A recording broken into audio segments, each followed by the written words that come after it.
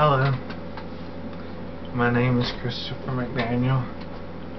I've had Parkinson's disease for 10 years.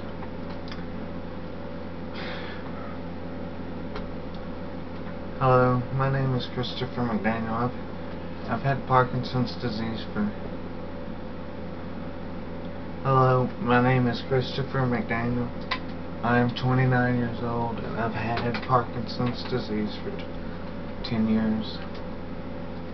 In this video, I would like to talk about one subject of the side effects of the medication of Parkinson's. As you can see, the difference in the movement from this video to the first video, um, it's quite different. It's quite different movements. Um, this is from too much dopamine. I uh, accidentally woke up in the middle of the night and in the morning I took some medicine. I fell back asleep and I woke up and took some more medicine not realizing what time it was and so this is too much dopamine uh, in your body. This is called dyskinesis. Um, I have an idea that this is from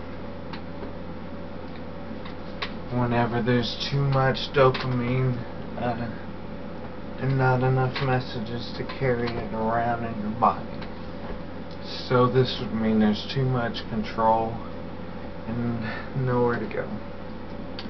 Uh, what tends to happen on this, uh, whenever this happens, is uh, like I sort of get what I call an Elvis lip, or my lip droops. Uh, like sometimes your body will twist itself. Uh, like my fingers go like that. It's hard for me to walk. My walk is staggered. Oh, yeah, um, it's funny because like right now I'm dressed like Shaggy from the uh, Scooby-Doo gang and my girlfriend Katie often says I walk like Shaggy uh, from the Scooby-Doo game.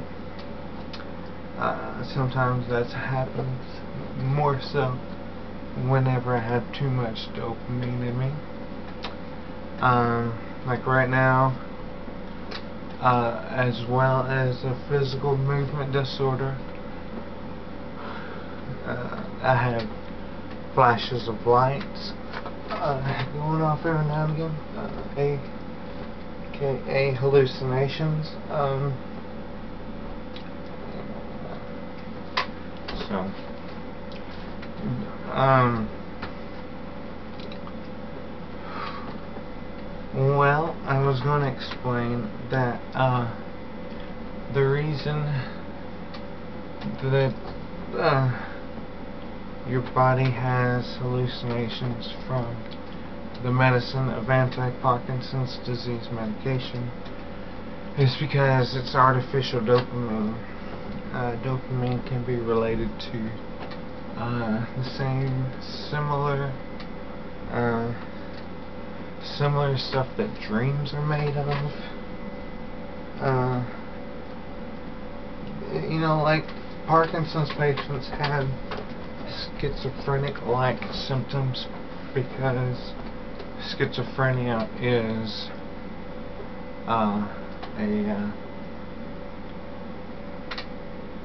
an abundance of dopamine. And Parkinson's disease is a lack of dopamine. An anti-Parkinson's disease medication gives you dopamine.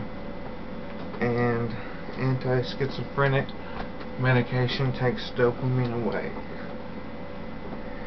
so schizophrenic patients have Parkinson's-like symptoms from, as a side effect from their medication. It is impossible, I can probably say without verifying this, that is, that uh, I will never have schizophrenia and a schizophrenic patient will never have Parkinson's but I do have schizophrenic-like side effects as a side or schizophrenic-like symptoms as a side effect from my medication, and schizophrenics have Parkinson's-like side effects as a Parkinson's-like symptoms as a side effect from the medication. You can die, I've read, uh, on a dopamine overdose. I don't know what happens. Um, there was this one time whenever I didn't care about life that I took uh, like a lot of dopamine, carbidopa, levodopa. And uh, it was like two or three days worth rather than one at a time. And what happened was I was sitting there with my friends watching the meteor shower and all this sudden in my head I was thinking I can't breathe.